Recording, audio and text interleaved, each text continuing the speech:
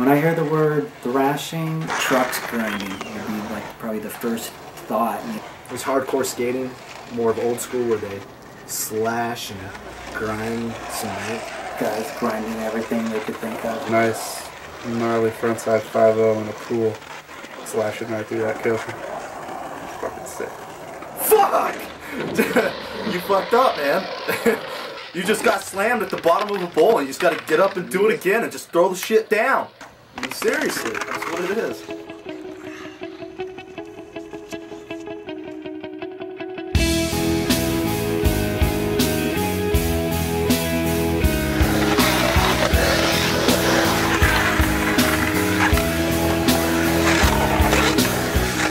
Like I said, I've been skateboarding for over 30 years now, and I've seen basically every kind of skate park you could think of. Like in the old day, if you fell, it was so rough, the concrete, that it would pull your elbow pads or your knee pads off as you're sliding, and then you'd get road rash on your on your corners there.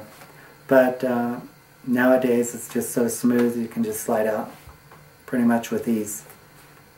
The parking Greeley, it's just it's a metal ramp with really rough concrete, so you're going from like a smooth metal to a really rough, rocky concrete. And then there's like a Denver skate park, which is all smooth and really slick, and like you come around a corner and just sliding all over because it's so smooth and slick. And then you go to a any other like a metal park with concrete, it's really rough, like in an old parking lot.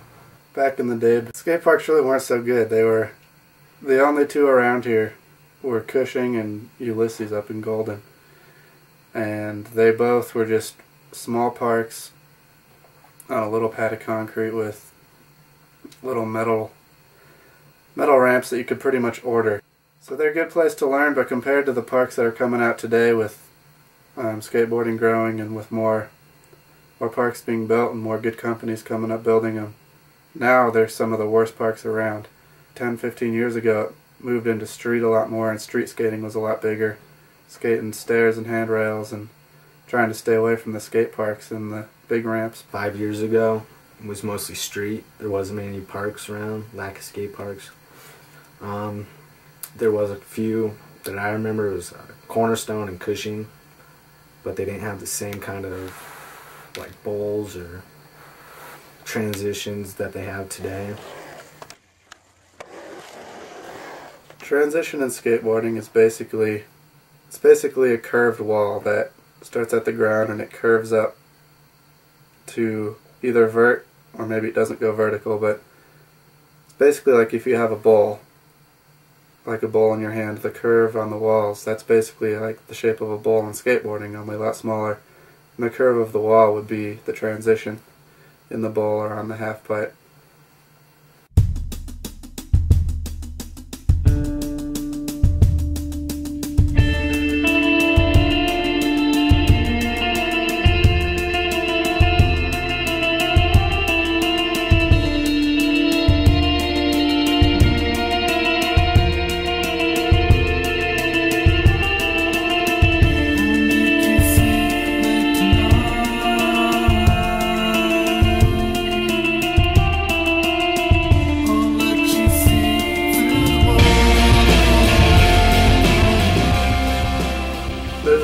different styles of riding and skateboarding.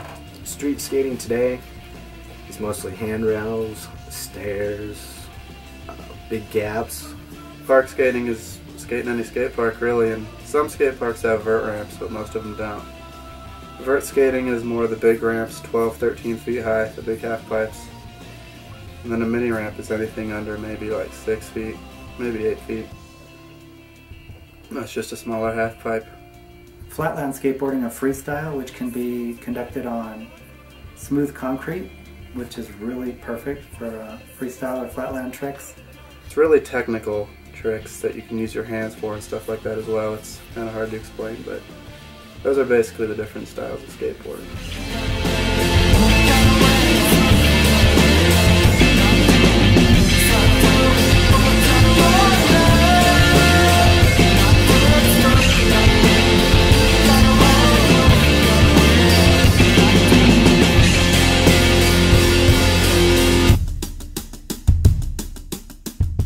Years ago, they started building the Denver skate park, and Highlands Ranch, Redstone Park.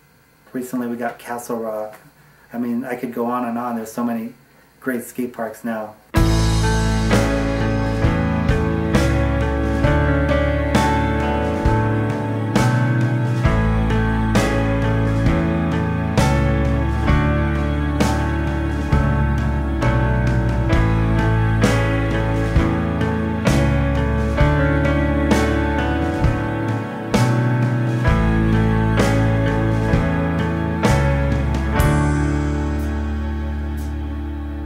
In the tall grass of a long sun, quiet repast, and I'm sweet nothings. Come hell, I'm the new Fairplay Park, uh, they have pool coping all the way around uh, the, the new edges of the pool.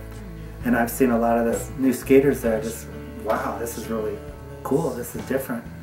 They even have this capsule thing at the end, so as you come carving down, you can actually go upside down in the capsule if you're good enough and come back around. So that stuff's really cool.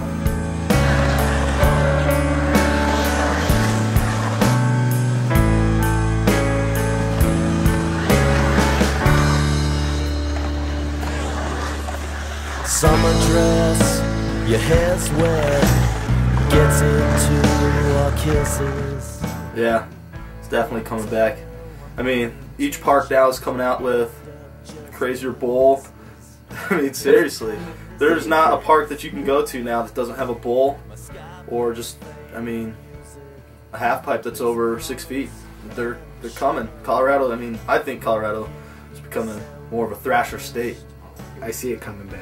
I see parks getting way bigger, uh, more bowls, uh, more eight foot walls, eleven foot walls, a lot more pool coping. Thrashing's coming back. In the next five years, hopefully that'll just continue and keep growing.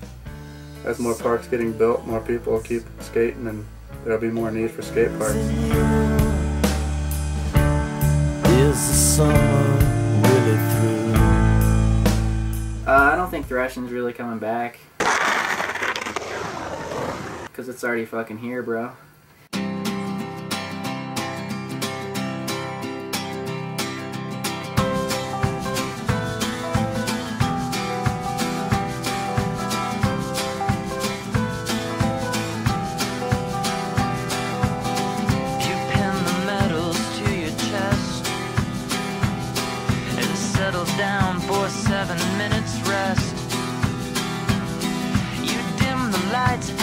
Administer the cure.